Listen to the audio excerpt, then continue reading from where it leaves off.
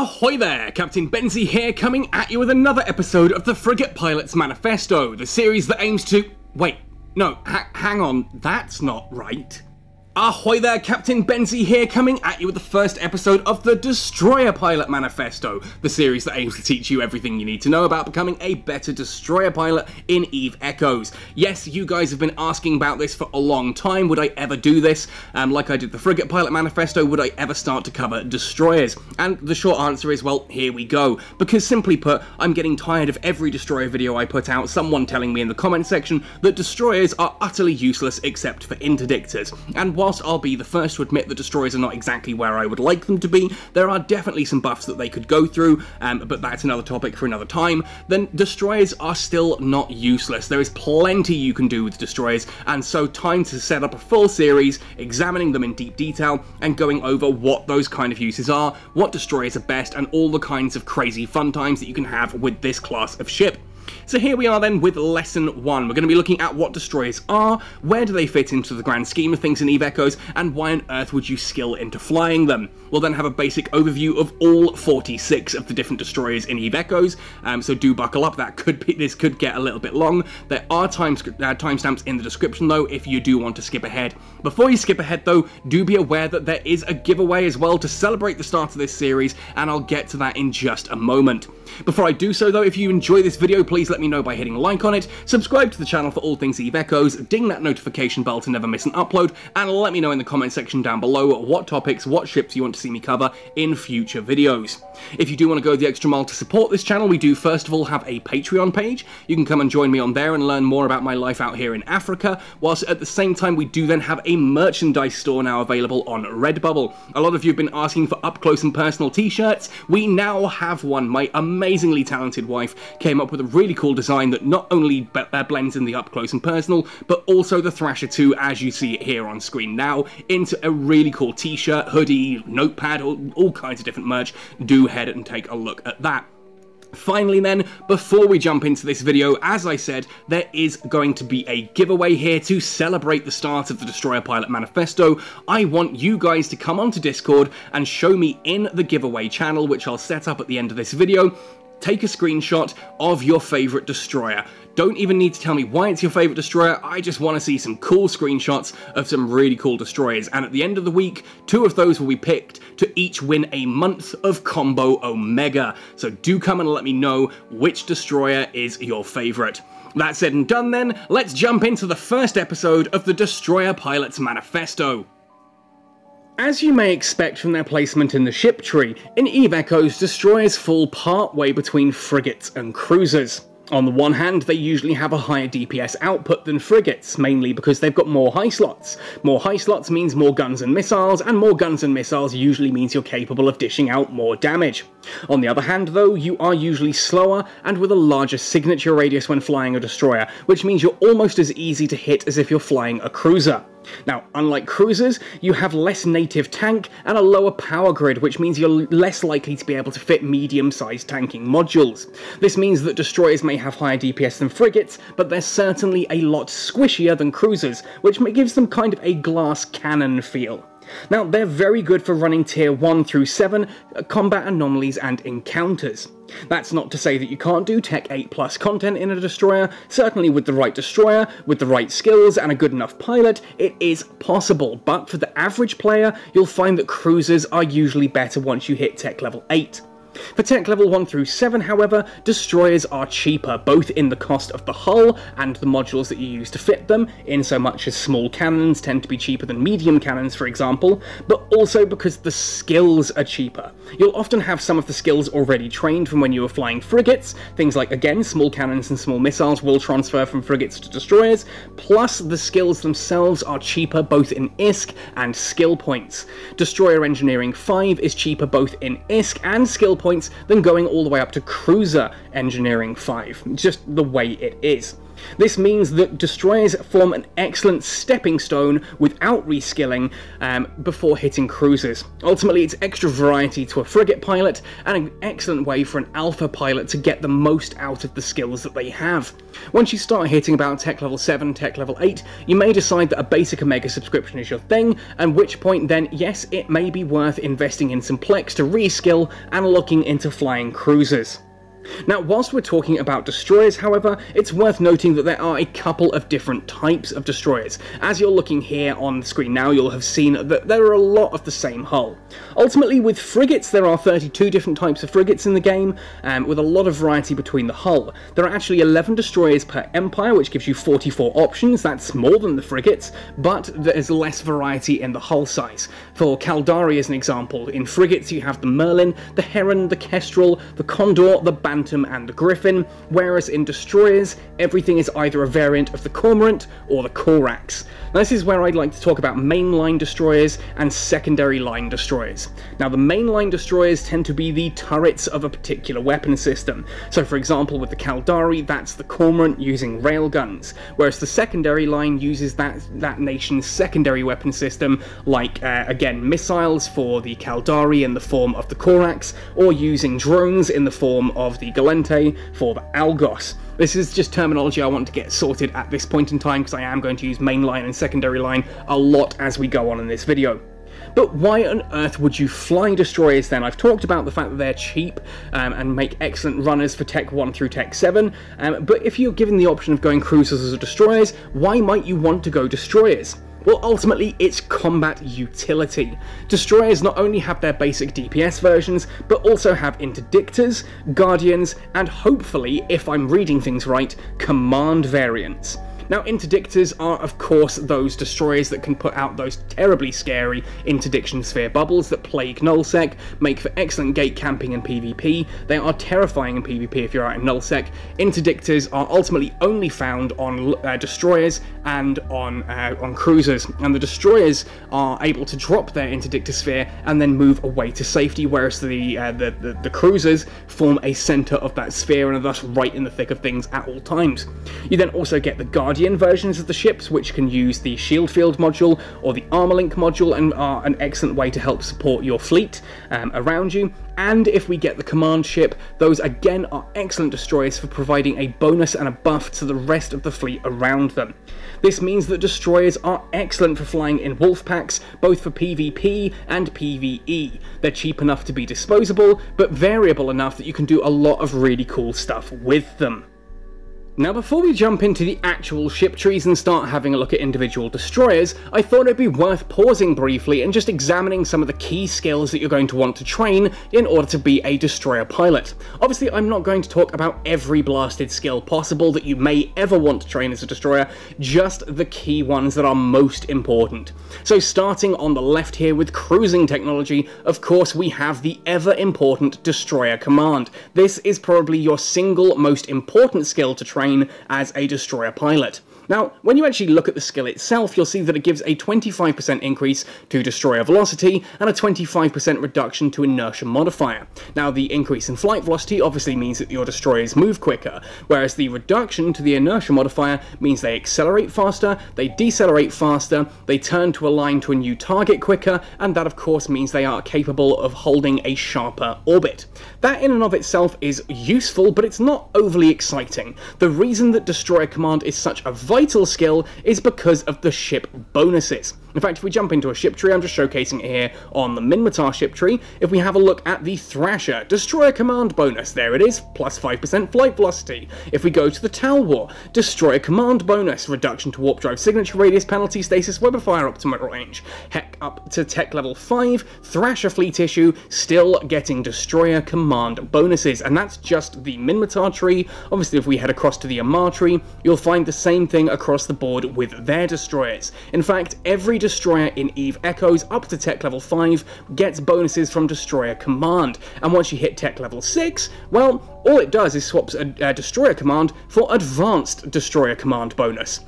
What that ultimately means is getting Destroyer Command to level 5 is probably the first thing that you should do as a Destroyer pilot. Don't worry about going into Advanced Destroyer Command just yet, that is a skill that you will want to have trained by about the time you hit Tech level 6. At Tech level 6, a lot of your ships are going to start benefiting from having skills in Advanced Destroyer Command, but just take the basic up to 5 as soon as possible, and only focus on Advanced Destroyer Command when Tech 6 is either looming or has just arrived. Obviously under navigation, Afterburner and Micro Warp Drive are going to be useful, but they're not exactly key skills. Same goes for shield operation and armor operation and all the different versions therein, things like armor hardening, shield hardening, etc. The one I do want to showcase, however, is defense upgrade. Now, Destroyer Defense upgrade, what this does is having this at level 5 increases all of the shields, armor, and structure of every single one of your destroyers by 250 hit points apiece. It just means that your destroyers are going to be that little bit tankier, and considering that destroyers, as I mentioned, are pretty fragile as it, you know, as it stands as basic, and they're a little bit smaller, uh, sorry, a little bit, like, you know, slower and larger than uh, the frigates, does mean they are going to take a bit more incidental damage than perhaps a frigate would. Additional defense is always going to be nice, and once you start looking at advanced destroyer defense upgrade, and indeed expert destroyer defense upgrade, what you're looking at there is then percentage based, which of course scales indefinitely with the size of the ship. 25% of a small amount is, you know, a small amount of boost, 25% extra of a big amount of shield armor or whatever um, is obviously going to be a nice big amount there for defense. Now, beyond this as well, the engineering skill is going to be probably the most vital skill after Destroyer Command. Now, Destroyer Engineering itself, this gives you an increase to your capacitor's capacity, an increase to the amount of power grid that each of your destroyers have, and a reduction to the amount of capacitor required to activate your warp drive when you're jumping into or out of combat. Now, that last one's not particularly exciting. It's nice quality of life that just means you tend to warp a little bit faster because you don't have to wait for your capacitor to recharge to a certain level, but it is mainly just quality of life. It's not overly exciting. The top two, however, are pretty vital. Capacitor capacity in itself is a very useful thing to have. Obviously, the bigger a ship's capacitor, the more stuff it can have active at any one time, and the faster, ultimately, gigajoules per second that it recharges. That helps you maintain capacitor stability across the board with all of your destroyers but destroyer power grid, this is the vital aspect of destroyer engineering. The difference between a Mark III small strike cannon and a Gistii C-type small strike cannon isn't just the damage it does, but also the amount of power grid that it takes up the more uh, the more the, the higher level modules um, also have a higher amount of power grid consumption. If you want to be fitting your ships out with the top level gear, they are going to need a bigger power grid. And if you haven't increased destroyer engineering skills, you will not be able to put top level gear onto your destroyers. That is just a fact. You can buy a top tier destroyer and not be able to fit all the stuff you want onto it simply because you do not have enough power grid because you are lacking in destroyer engineering skills. Again, after you have Destroyer Command to 5, I would get Destroyer Engineering to 5. And when you move into Advanced Destroyer Command, that's when you probably want to start looking into Advanced Destroyer Engineering, just because that allows you to keep up with what's going on. It's worth noting as well that once we get into expert destroyer engineering, you also get this reduction to the power grid requirements for small turrets and small missile and torpedoes. This is kind of a stacking effect. It means that not only do you have more power grid with which to fit things in, your weapons also use less power grid. Now that is vital, especially if, for example, you're using something like a Thrasher and you're using strike cannons, some of those more power grid, like heavy modules. There are some modules out there that use a lot more power grid than others, and heck, if you've got these skills high enough, it does mean that you can sometimes start to use oversized modules, like using medium shield boosters, or heck, even medium neutralizers for extra PvP fun times. Now it's worth noting as well that that small turret power grid need and small missile torpedo power grid need, that stacks onto any hull type. That is a reduction to the turrets, and it is not related to the hull that you're fitting it on. Which means if, like me, you happen to have expert frigate engineering trained all the way up to level 5, you've got the small turret power grid need reduction there, and small missile torpedo power grid reduction also, 10% on each of those. If you have expert frigate engineering up, that means that your small missiles, your small turrets, etc., require less power grid when they are being fitted to your destroyers. And I showcase this in the Thrasher Fleet issue video. If you don't believe me, you can check out the evidence there. Now, I'm not suggesting that if you're a destroyer pilot, you train all the way up to expert frigate engineering, but if, like me, you're using destroyers as a nice alternative to your frigates, it means that your skills do actually benefit each other, which is always a nice thing to have. It's worth mentioning, if we pause, pause briefly here on uh, target management, target management is not overly a vital skill for a destroyer pilot. Once you have target management basic up to 5, that's pretty much all you need. If you take advanced target management into uh, just literally skill 1 of advanced target management, that gives you the full 7 lock-on targets um, that the I think the most a, a destroyer can lock onto is 7, so at that point you do have the most capability of locking on. The only benefit you're getting after that is the increase to scan resolution which, you know, in fairness, destroyers lock on fairly quickly as it is. Beyond this, finally, of course, you would then train in between um, after Destroyer Command and Destroyer Engineering before you start training to Advanced Destroyer Command and Advanced Engineering, because of course you're going to need to spend some skill points um, in order to hit Tech Level 6 pick your weapon system of choice. If, like me, you've gone for thrashers and things like that, then small cannon operation and small cannon upgrade are going to be your shindig, whereas railguns for the cormorant and the uh, the catalyst lasers for the Coercer, missiles for the Corax and the Talwar, and for drones, that's if you want to be flying Dragoons or Algos. And have a look through these. These do all kind of work the same. Cannon uh, operation gives you an increased damage and an increased tracking speed, where a small uh, where a small upgrade gives you a slightly smaller increase to damage, but increases the range of your weapon. So kind of tweak that to which weapon system you want to be using most. If you're using strike cannons, rifled railguns, beam lasers, that kind of thing, you're probably going to want to get upgrade leveled up first. If you're using the shorter range versions like autocannons, um, snub-nosed railguns, or pulse lasers, then sm uh, the small operation skill is probably going to be the one you want to focus on to get that additional tracking speed. At this point in the video, we are going to do an in-depth examination of the ship trees to have a look at every single destroyer in EVE Echoes. Obviously that's 11 destroyers for each of the four main nations, giving us 44 different options, plus the Xianyue to have a look at at the end. Now, I have put timestamps down in the description below so you can jump to the particular ship tree that you want to have a look at, but I do recommend having a look through the Caldari State one first, as I am going to be examining the layout of the ship tree and where the different ships fall. The Amarr, Minmatar and Versions are going to be a lot faster. We're not going to touch on the ships particularly much, other than the notable ones that are well worth having a look at. That said and done then, let's jump into the Caldari State ship tree. Now, Caldari State Destroyers are noticeable for a couple of different reasons. First and foremost, they are absolutely the slowest destroyers in EVE Echoes. Some of these ships move so slow that they can actually be outrun by battle cruisers. Yes, it's that bad. But on the other side, they are shield tanks, and they are probably some of the most sturdy destroyers in the game as well. Not only are they very solid shield tanks to start with, they also get bonuses to the size of their shield tanks, and with how shield tanking works, this means that they are incredibly solid ships and can be very difficult to remove. Certainly they're not going anywhere in a hurry and they aren't able to avoid incoming fire, but they are capable of absorbing a surprising amount of firepower. Now, being Caldari, the mainline turret destroyer is of course the Cormorant, and it's going to be using railguns, whereas the secondary line using alternate weapons is going to be the Corax using missiles. Now, I've mentioned as well that we are going to spend a bit more time here in the Caldari state tech tree, just because we're going to be talking about the different positions of the different destroyers and how those are, of course, across the board the same with the different empires. So all of the mainline turret destroyers start at tech level 3. For the Caldari, that is the Cormorant.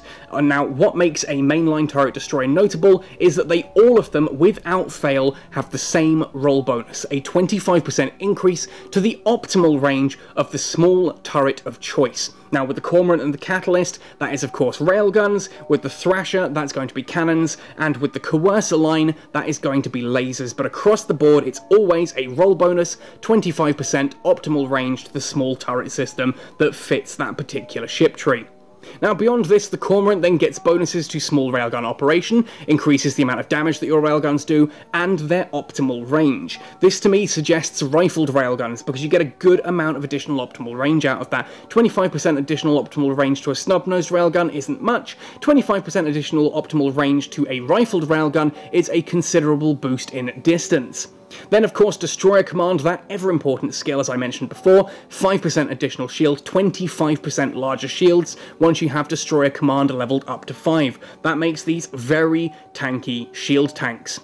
Once we move into tech level 4, the Cormorant can be upgraded to the Cormorant 2. The notable differences here are that the Cormorant 2 has an additional high slot, we go from 3 slots up to 4, and we get both the combat and the engineering rigs that allow us to add a little bit more variety to the ship as well, alongside extra damage because we can fit things like collision accelerators and burst aerators. We've still got that same roll bonus, again, it is a Cormorant, it is a mainline turret destroyer, so it gets that same roll bonus, and as with the Cormorant, we get bonuses from small railgun operation, and from Destroyer Command. Destroyer Command is that same 5% additional shield, whereas Small Railgun Operation is giving us less small railgun damage per level, but do remember you're getting 4 turrets now rather than 3, so it is still a massive increase in overall DPS, plus you're getting an increase to tracking speed alongside the optimal range. The optimal range increase is bigger here on the Cormorant 2 than it was on the Cormorant, so you're getting longer range rifle railguns, plus you're getting better tracking, which just helps them apply their damage to the target better. You can go for on these, I'm not going to say you can't, I just think the Cormorant works better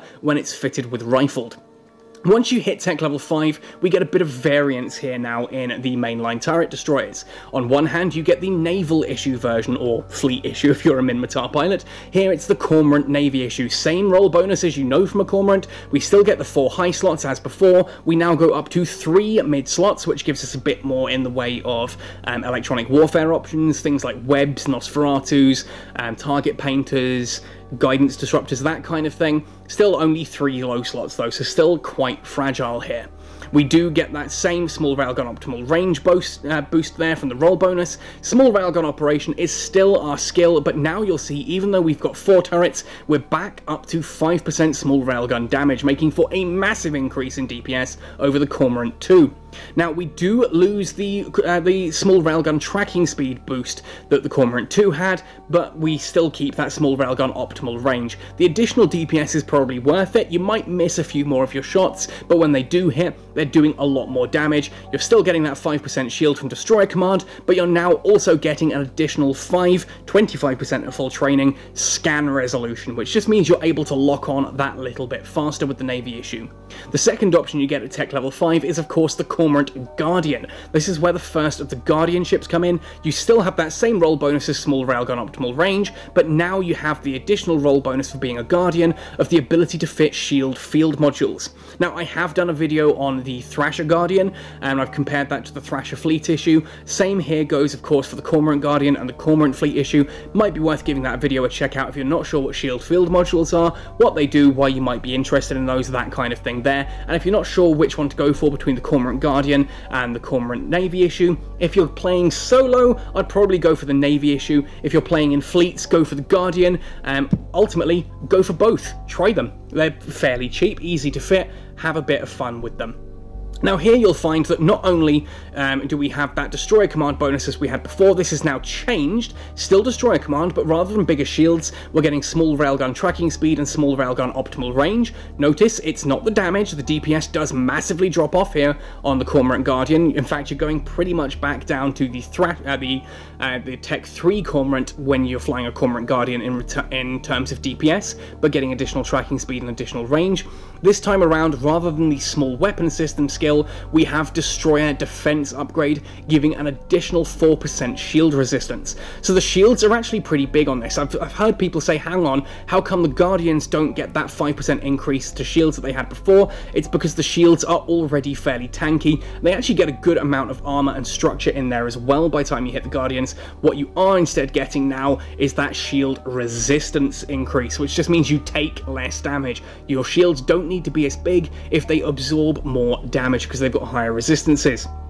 Now, after tech level 5, of course, we come to tech level 6. This is where our first interdictor comes in. Again, being a mainline turret destroyer, we have that roll bonus, 25% additional optimal range, but this time, being an interdictor, we also get the ability to fit interdiction sphere launches. Now, I'm not going to spend too much time on the interdictors. Again, these are those ships that are the ones that are capable of dropping the warp bubbles that will often catch you out in gate camps, that kind of thing. You're getting bonuses here to the size um, and the effectiveness of those interdiction spheres, plus you're getting additional damage and optimal range from Advanced Destroyer Command. If you're looking to fly interdictors, be aware that you are starting to train into Advanced Destroyer Command once you hit tech level 6, but in this case, ultimately the interdictors are mainly there for those interdiction sphere launches. I've done a video on propulsion jamming and on how the interdictors work. Do give that a check out if interdictors are something you're interested in.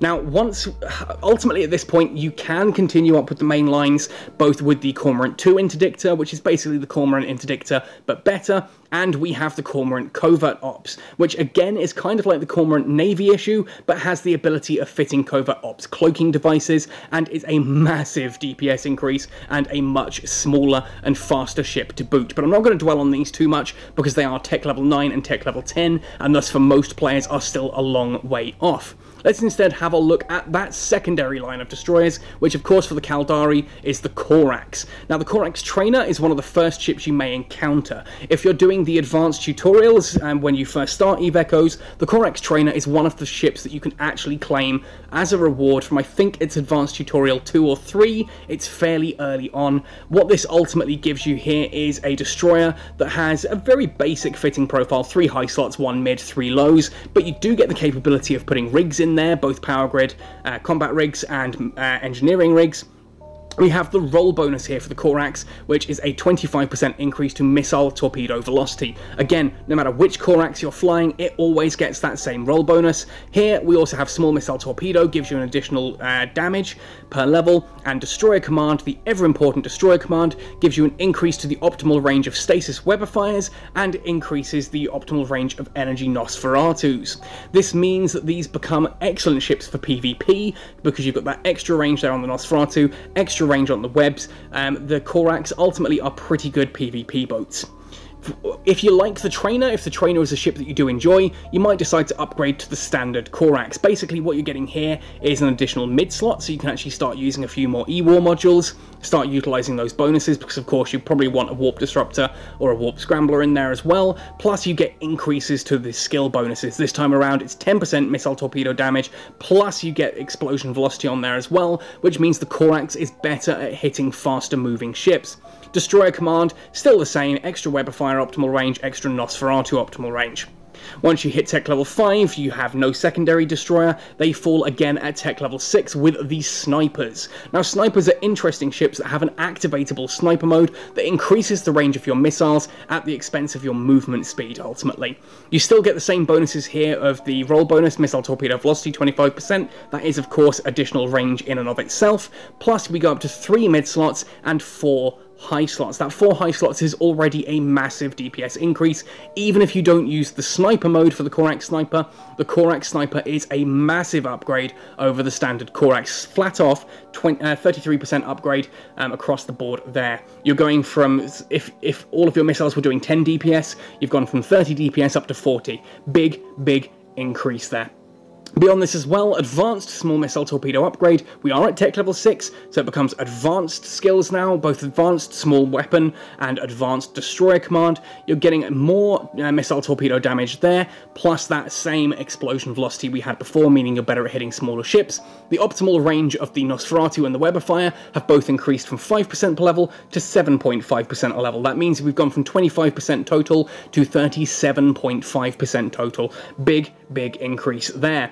Finally then, at tech level 7, we get the Assault version. Now, Assault destroyers, are, these are essentially much more aggressive ships. These have the capability, in addition to the usual roll bonus of that missile torpedo velocity, you get an, inc uh, an increase of 5 seconds to damage control activation time. So these do work really nicely with damage control units. Remember, if you activate a damage control unit, you get a massive increase to your resistances for usually 13 seconds. Here on the Corax Assault, that lasts for 18 seconds, which is usually enough time for you to hit your target and get a serious amount of damage off on it before it can really start hitting you back. We're still at four high slots. We now have four low slots as well, which gives us that extra place to put in the damage control. Three of each of the rigs as well uh, adds a lot more versatility. The assault destroyers, in my opinion, are actually some of the most fun to use. And the Corax Assault, it's not a bad ship at all. I do prefer the Talwar Assault, but the Corax Assault is arguably a better brawler, um, good at getting right up into your grill and hitting hard. This is actually one of the slower destroyers in the game though.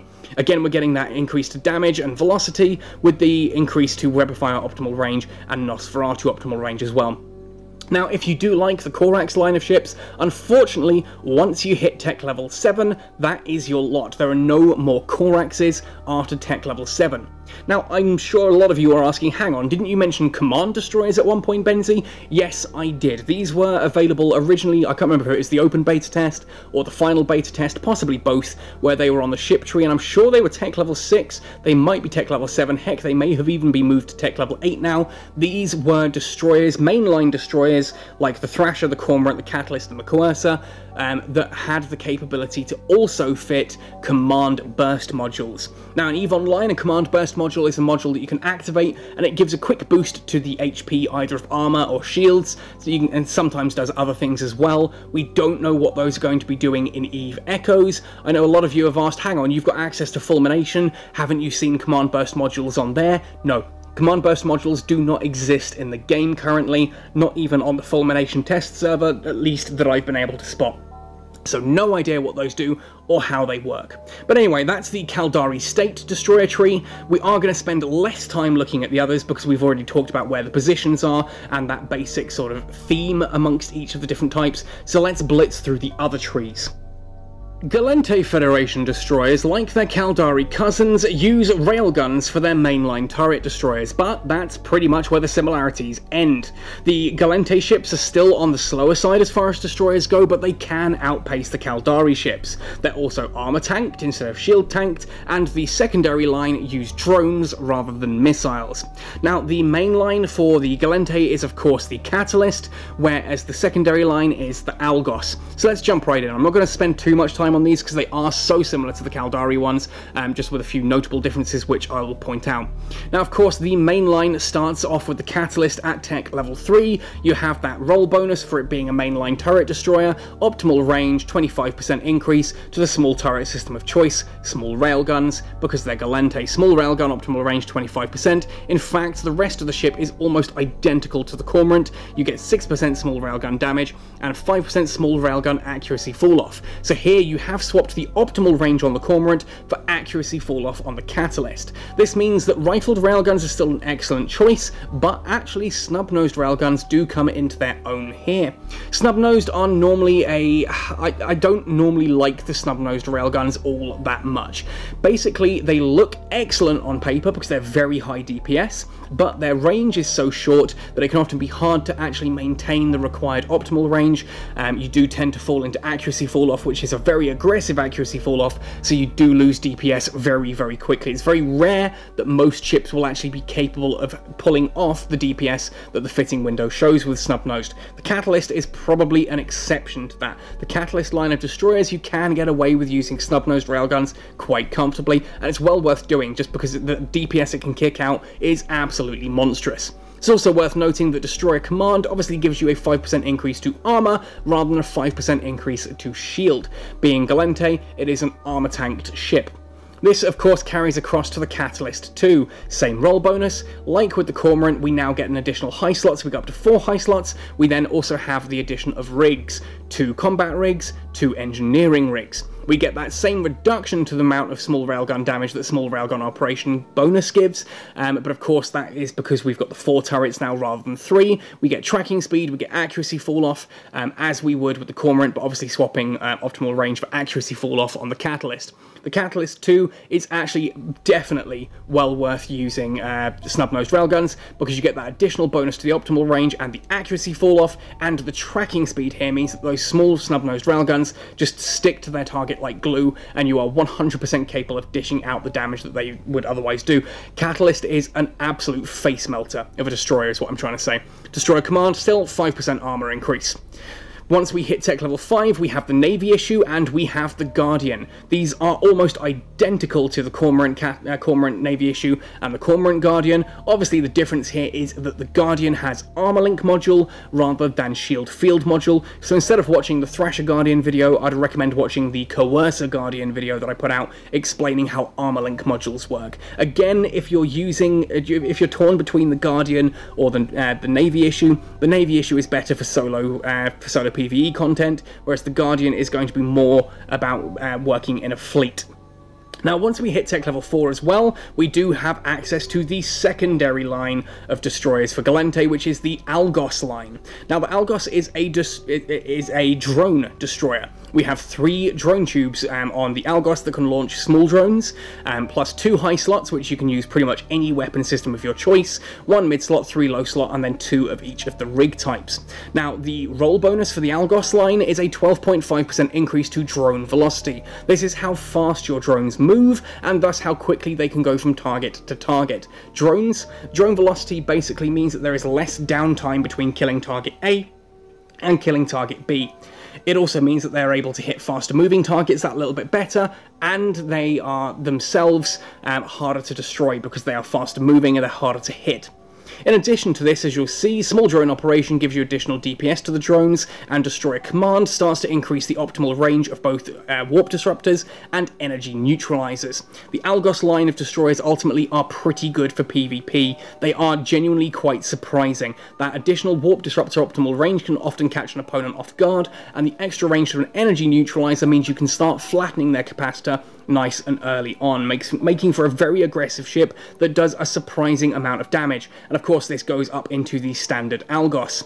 Similar uh, fritting profile across the board there, same role bonus there, 12.5% drone velocity. We now have a bigger increase to drone DPS and an increase to drone effective hit points as well, which means again your drones become more survivable. Still warp disruptor optimal range and energy neutralizer optimal range remains the same. The next Algos is the Sniper, which comes in at tech level 6. Now, ultimately, I'll be completely frank, never activate the sniper mode with uh, the, the, the, drone destroyers. There is no point. Sniper mode is terrible on drone destroyers. The range bonus is pitiful, and the cost that it has um, otherwise to your ship's movement speed is just tragic. It really, really gimps your ship. Don't bother. Why would you go up to an Algos Sniper rather than a standard Algos? And of course, it is that massive 30% increase to drone DPS per level. 30% increase per level is 150% additional drone DPS once that's fully trained. Plus again, the Warp Disruptor and Energy Neutralizer goes from 5% up to 7.5%. 25% goes up to 37.5% at full training. That's a big, big difference.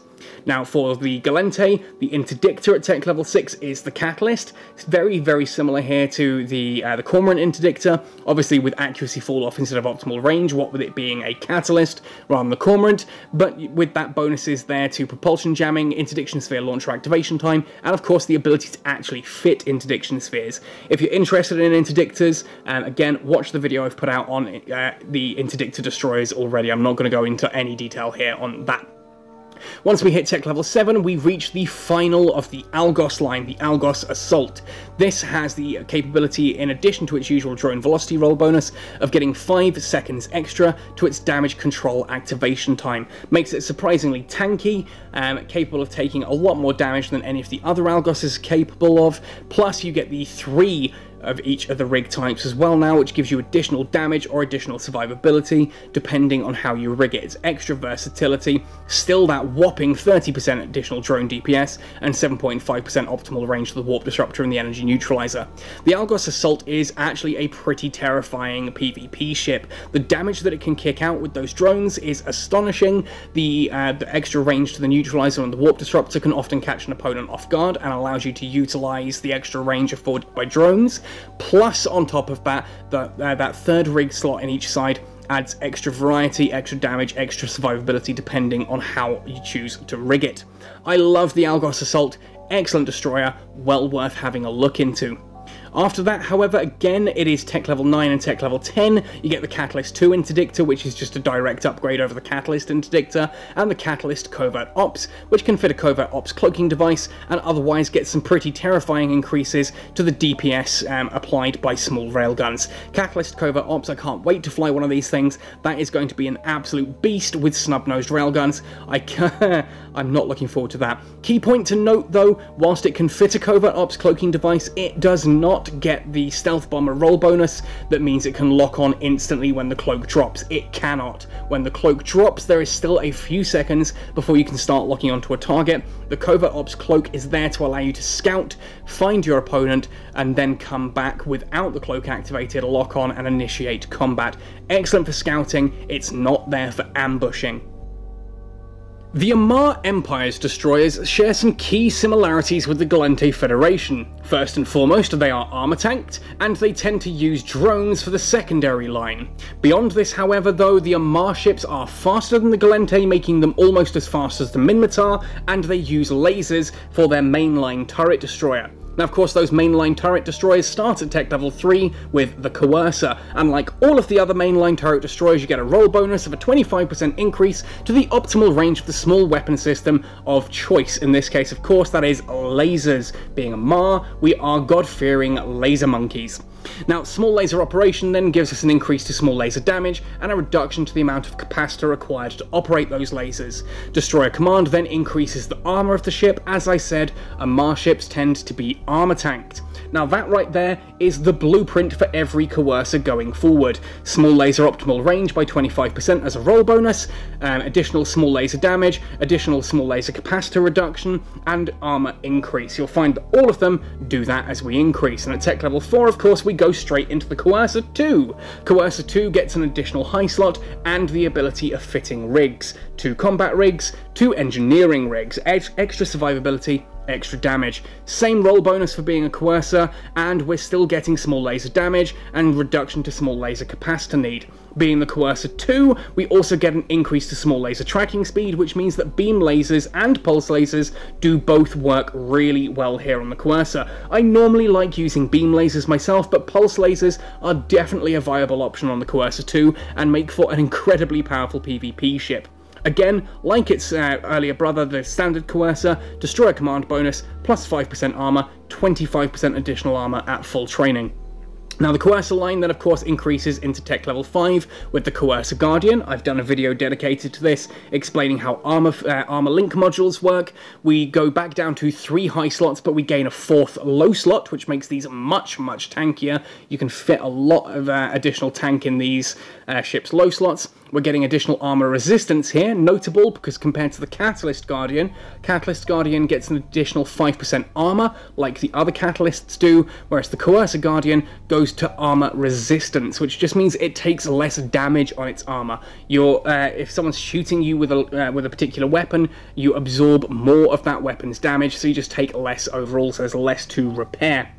The Catalyst has a bigger tank, um, and thus it's like having more armor that you've got to get through, whereas the Coercer line um, just reduces the amount of damage that you do actually take. Otherwise, you still get that laser tracking speed and the laser capacitor need from Destroyer Command, and if we go across into the Coercer Navy issue, here we have that same role bonus, optimal range, laser damage, laser tracking speed, and a reduction to laser capacitor need. In addition, Destroyer Command obviously gives us that 5% increased armor, and as with the other Navy issues, scan resolution comes into play as well. We have 4 high slots, 3 low slots, good damage output here from the Coercer Navy issue. This, in my opinion, is one of the best trainer PvP ships. The sheer amount of damage that this can kick out with pulse lasers is terrifying, and it will melt through a lot of surprisingly powerful ships. I've seen Coercer Navy issues take down Caracal, uh, Caracal Navy issues, um, and all kinds kinds of stuff there with their lasers. They just arrive, they rip them apart, and then they just head off into the sunset.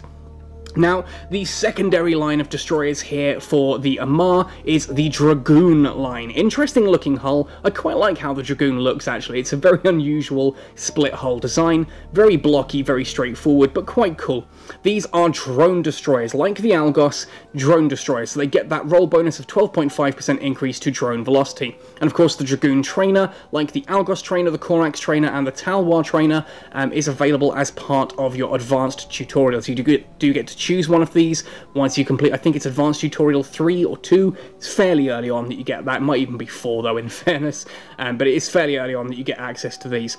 What you're getting there, in addition to that drone velocity, is additional drone DPS, higher damage from your drones, energy Nosferatu optimal range, energy neutralizer optimal range, and an increase to small laser damage. Now it's notable that after the Dragoon Trainer you don't get small laser damage anymore on these hulls, you can fit whatever weapon system you like. It's quite common to see a Dragoon ship fitted with something like um, Snub-Nosed if it's going to go into a brawling build, or even missiles if it's going to utilise the extra range afforded to it by drones. And here we have the Dragoon itself, the basic mainline Dragoon, three drone tubes, can launch small drones, two high slots that have no additional bonuses here uh, for any particular weapon type, so whatever weapon type you fancy putting in those high slots, you can go for.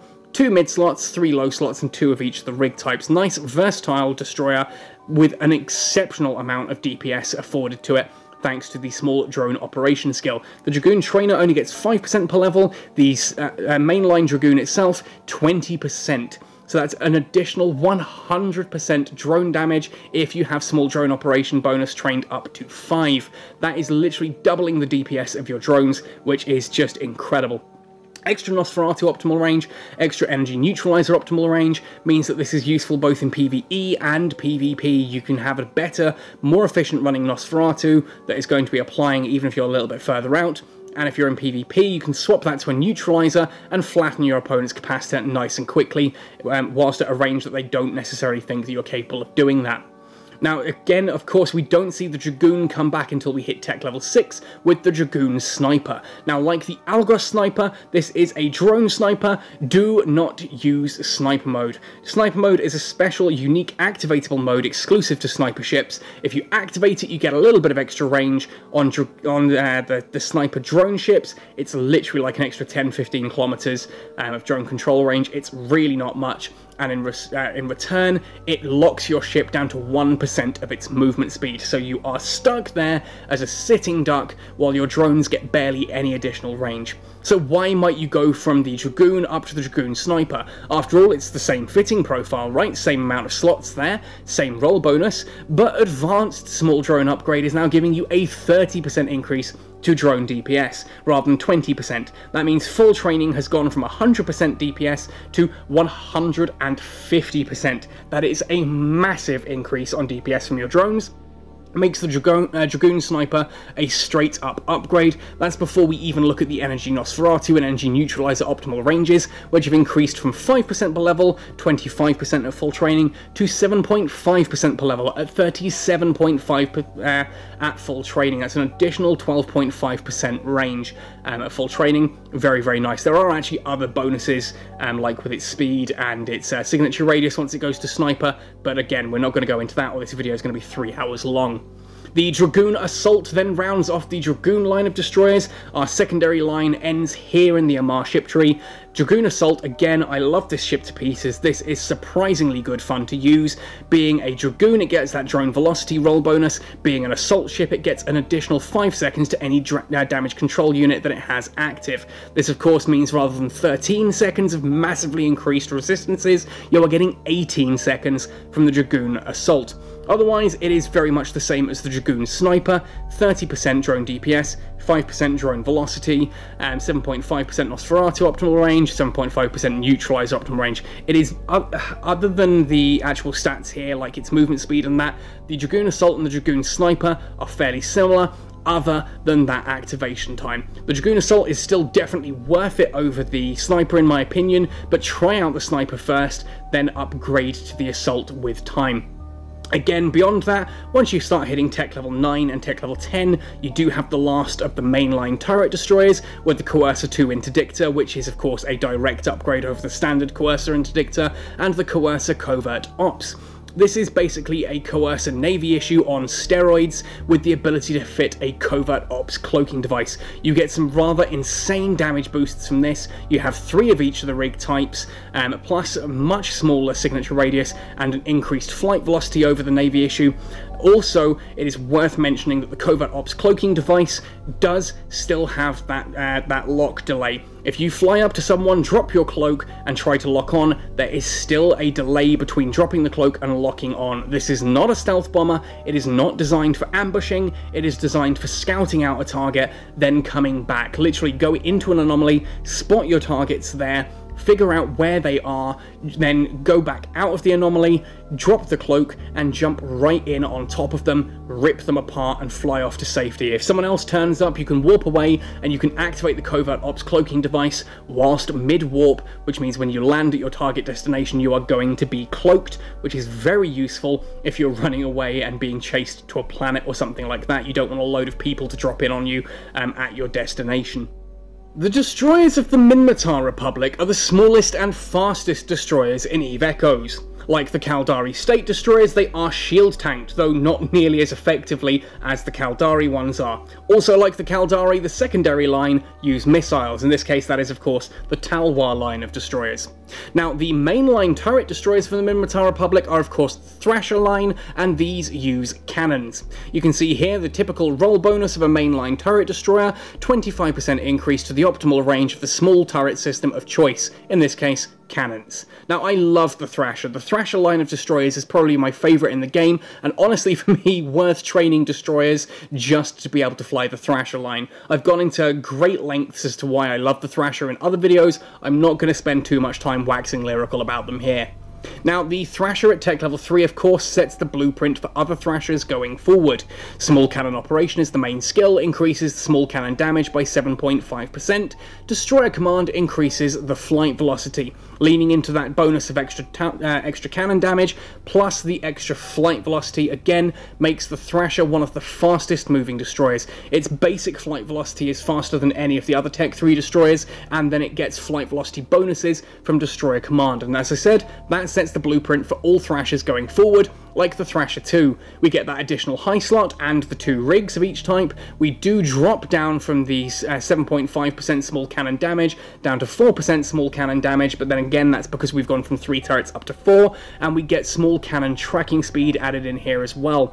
Now, the Thrasher 2 is an absolute beast of a destroyer. Fit this thing with uh, small autocannons and just watch it go. It can easily clear Tech 7 encounters and anomalies, um, and you'll have a great time with this. In fact, we use a lot of these in PvP. Um, fleets of Thrasher 2s can just be terrifying in how effective they can be.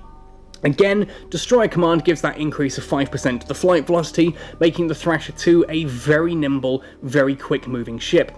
Once we hit tech level 5, the Thrasher line becomes the Thrasher Guardian. Again, we lose the high slot, um, going down to 3 high slots, gain a low slot instead, going up to 4, and we gain the ability to fit shield field modules. I've done the Thrasher Guardian twice now in different videos, well worth checking out those um, to understand how shield field modules work and whether or not you want to use a Thrasher Guardian over a Thrasher uh, fleet issue, as we'll see in a moment.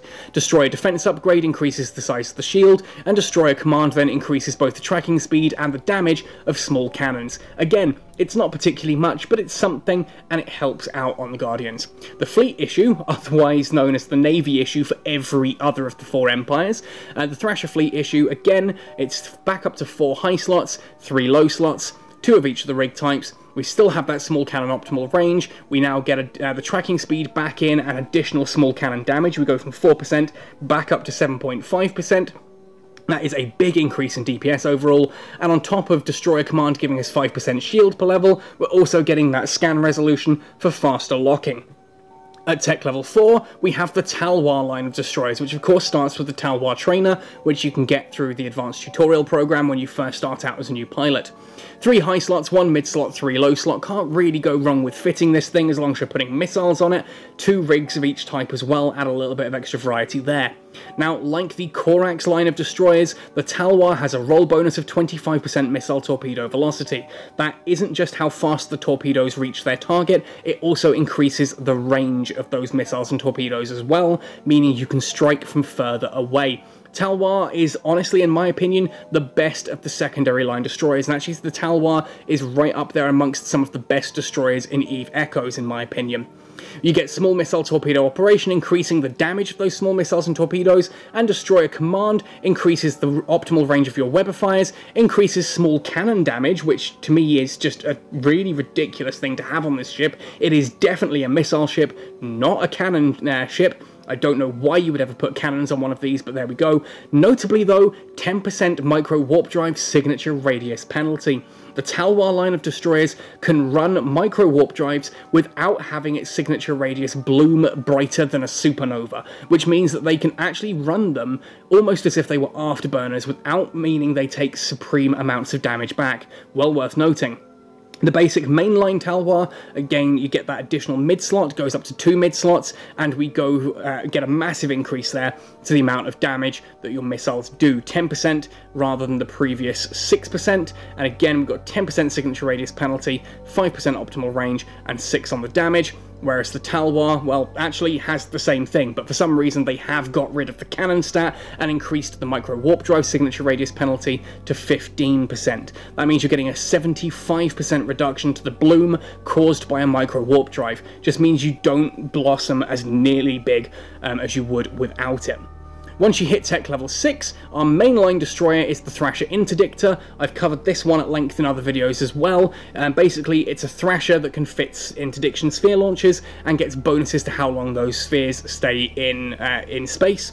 You do get some small cannon damage on top there that brings it kind of in line with the fleet issue, but it falls apart compared to the fleet issue in every other way. It's not as tanky, it's not as fast, um, you're better off sticking with the fleet issue if it's for solo PvP, uh, solo PvP or PvE, whereas the Thrasher Interdictor is there for that uh, for that gate camping capability. For the uh, tier 6 of the secondary line, we get the Talwar Sniper. Now again, sniper mode, uh, you can activate this to uh, stop your movement speed all the way down to 1%, whilst increasing the range of your missiles. It's not a huge range increase, um, I am hoping that perhaps the sniper mode does get fixed um, in a future patch. There's a lot of buffs I'd like to see given to uh, various different destroyers, but I'd like to see the extra range given to the sniper, uh, sniper destroyers. Certainly, the Talwar does benefit from that quite nicely. You're uh, capable of missile kiting um, with that extra range. I've showcased that in videos as well. It is good fun. But even if you're not using the sniper mode, the Talwar sniper is a direct upgrade over the standard Talwar, just because you're getting more uh, more slots to play with and you're getting bigger stat boosts there from the small missile torpedo damage overall very very nice ship i do enjoy the talwar sniper an awful lot but it is definitely the Talwar Assault that wins things out for me. I'm actually recording another video on the Talwar Assault at the moment. Um, this is my favourite of the Assault Destroyers. It's one of my favourite destroyers overall. This is an incredibly powerful ship, both thanks to the additional slots that it gets, the 5%, uh, 5 seconds extra damage control activation time, making it astonishingly tanky. The small missile torpedo damage is very nice. That ability to run a micro warp drive without having a huge signature radius is huge, and the increase to the stasis Webifier optimal range means you pose a very real threat to ships like Daredevils and Succubuses that otherwise try to stay out of stasis Webifier range. You have a longer range than they may expect, and that can cause all manner of problems. I adore the Talwar Assault. This to me is one of the main reasons for training into destroyers, the Talwar Assault and the Thrasher line, for me personally at least. Speaking of the Thrasher line, once we hit tech level 9, the Thrasher Interdictor gets a direct upgrade with the Thrasher 2 Interdictor, and the Co uh, Thrasher Covert Ops arrives at tech level 10. This can kick out an astonishing amount of DPS thanks to that 18% per level increase in small cannon damage. It gets additional flight velocity, an even smaller signature radius, and it's already a tiny signature radius and a very high flight velocity. Excellent for speed tanking this ship. Plus, we get the ability to fit covert ops cloaking devices. It's notable that you do not have that stealth bomber bonus of removing the uh, cloaking uh, cloaking device uh, targeting delay. If you are in a Thrasher covert ops and you're cloaked in a cloaking device, if you drop that cloak, you do still have a period before you can lock onto a target. This is not an ambushing ship, it is a scouting ship. Jump into a situation, spot your opponent, get a measure of them whilst you have the cloak on, jump back out of the anomaly, turn around, drop the cloak, and jump back in. Or if you need to run away from like a, an enemy fleet that's catching you, again, you can activate the cloak whilst warping so that they can't see you when you land. You don't accidentally jump into an entire fleet and just get auto-locked and blapped. You've got a few moments there with a cloak up that you can just have some fun and escape nice and safely. Now, I would feel remiss for doing an introduction to destroyers without also talking about the Yan Jung, which are Eve Echo's unique and exclusive faction. Now, normally the special factions in Eve give you a cruiser, a frigate, and a battleship. Here with the Yan Jung, it is instead a battle cruiser and a destroyer. And actually the first of these, the Xianyue prototype, is given away free if you are an Omega pilot during your first month of login rewards. I think it's around about day 15 that you actually get the ship and all the fittings required um, to use it because it does use its own unique weapons. But let's have a look here at the prototype. You see it's got a fairly rounded uh, damage fitting here um, for a destroyer, three high slots, two mids, three lows, three of each of the rig types, three combat rigs, three engineering rigs, makes for a surprisingly versatile ship. It's also uh, notable that there are no bonuses to this ship in regards to skills. You can fly this if you are a manufacturing pilot or a miner or whatever. It doesn't matter. You don't need any form of combat skills to fly this effectively. Obviously they do help it a little bit, but I don't recommend training small decomposer skills just for the Xianyue prototype. That is something you want to look at for when you start flying the actual mainline ship itself, and we'll come to that in just a moment. But in regards to the prototype, what you do have is a role bonus that increases the damage of the small decomposers by 75% and increases their range by 15%. Now, decomposers are already fairly damaging, but they are quite short range and they don't have an accuracy fall off. You're either in optimal range or you're not in range at all. Ultimately, this makes them have a slightly longer range, and it turns their already solid damage into some quite frightening DPS, considering this is a free ship. And again, remember, you do get given some of the fittings for this as part of the daily login rewards as well. Certainly, it's not the most powerful ship out there, it is very fragile, it is the epitome of glass cannon, though it can fit a medium shield booster, um, but you do also notably here get an increase of 15% shield from the ship itself and plus 1 warp stability, which means if someone comes in with a single warp, uh, warp disruptor, they're not going to be able to lock you down with just that one warp disruptor. They are going to need a scrambler or uh, multiple warp disruptors to help lock you down. It just gives you a nice little ship here that anyone can fly and help them do Tech 5, Tech 6 content nice and easily early on. And with the right skills, I have witnessed people clearing Tech 8 and Tech 9 encounters using the Xianyue prototype. Now, beyond the prototype itself, you do have the Xianyue Destroyer. Now, thanks to me flying on the Fulmination test server uh, from time to time, I have actually had access to one of these, and I've been having an awful lot of fun flying this thing. Again, the fact that you've got a decent amount of slots there across the board, plus these really powerful role bonuses, additional decomposer optimal range goes from 15% to 25% on the mainline Xianyue, plus you go from 75% small decomposer damage up to 80% small decomposer damage, and you keep that plus one warp stability. Now, for advanced small decomposer upgrade, this is when you are flying one of these, this is when you may decide that actually the decomposer skills are worth training. I would not train decomposer skills otherwise, simply because no other ship benefits from them, and it's kind of, I feel like those SP could be better used elsewhere. But anyway, Advanced Small Decomposer upgrade increases that Small Decomposer damage by a further 10% per level, up to a maximum of 50%, and increases that optimal range by another 5% per level, 25% across the board. Gives a big increase to the optimal range, and a big increase to those already solid Decomposer damaging. Brilliant ship, very, very powerful, kicks out an awful lot. Now, Advanced Destroyer command bonus here, giving an additional 5% shield, and again, the uh, Xianyue over the prototype already has a bonus of having a considerably larger shield.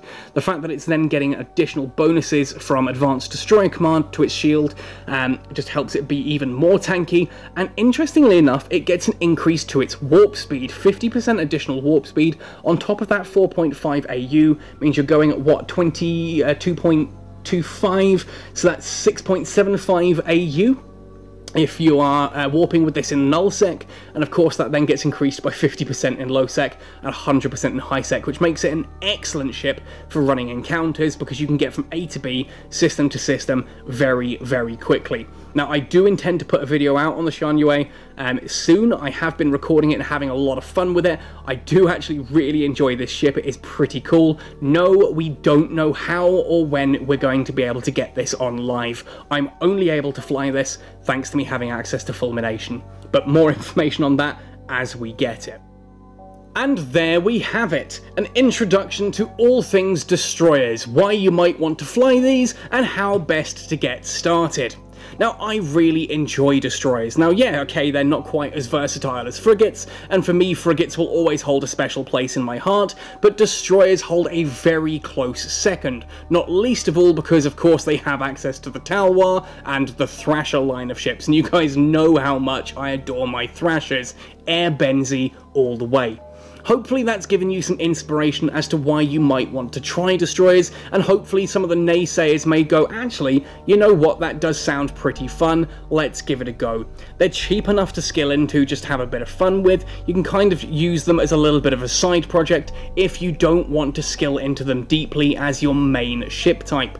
For me, destroyers make an excellent secondary point to go into after frigates, mainly because they utilise a lot of the same skills, but for other players you'll find that destroyers are an excellent place to go and sort of get you all the way up to tech level 7 before you start real, uh, realigning your skills into things like cruisers. Anyway, folks, let me know your thoughts and opinions on Destroyers in the comments section below. Of course, check out that giveaway um, that I mentioned at the start of the video, and of course, let me know what your favourite Destroyer is in the comment section below, what you enjoy about them, what it is that you're looking forward to, and of course, let me know which Destroyers, which ships, etc., which topics you want me to cover in future content. Thanks for watching right the way to the end, guys. Happy sailing, and see you in New Eden.